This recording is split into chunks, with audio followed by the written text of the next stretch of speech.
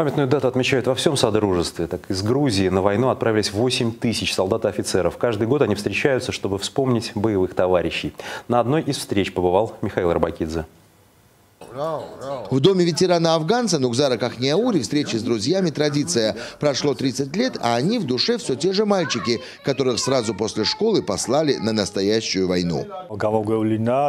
Задача, которая перед нами стояла, это пресечение поступления оружия и наркотиков из соседнего Пакистана. Так называемые караваны сопровождали опытные бойцы и инструкторы.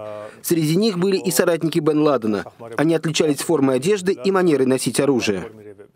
Тогда ребятам было по 18-19 лет, полгода в учебке и сразу на передовую. Горы, ущелья, перевалы. Для военнослужащих из Грузии рельеф привычный, поэтому в основном их распределяли в разведку и в бригады особого назначения. Там были сопки, блиндажи строить не получалось. Мы сутками наблюдали за противником со склонов. Бывало, что нас замечали. Тогда была ситуация кто кого. Нужны были железные нервы и выдержка. Местным доверять было нельзя. За улыбкой крылось предательство.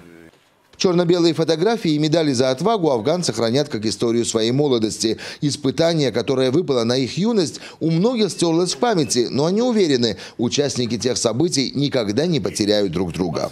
Мы научились настоящей дружбе. Это был большой боевой опыт. В части специального назначения, в которой я служил, было пять героев Советского Союза. Я помню всех своих друзей. Со многими дружу по сей день. Благо современные технологии дают такую возможность.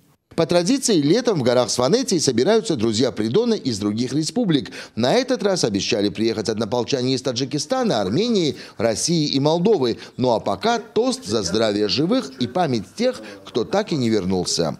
Михаил Рубакидзе, Вячеслав Мадашвили и Бесоми Кукишвили. Мир-24.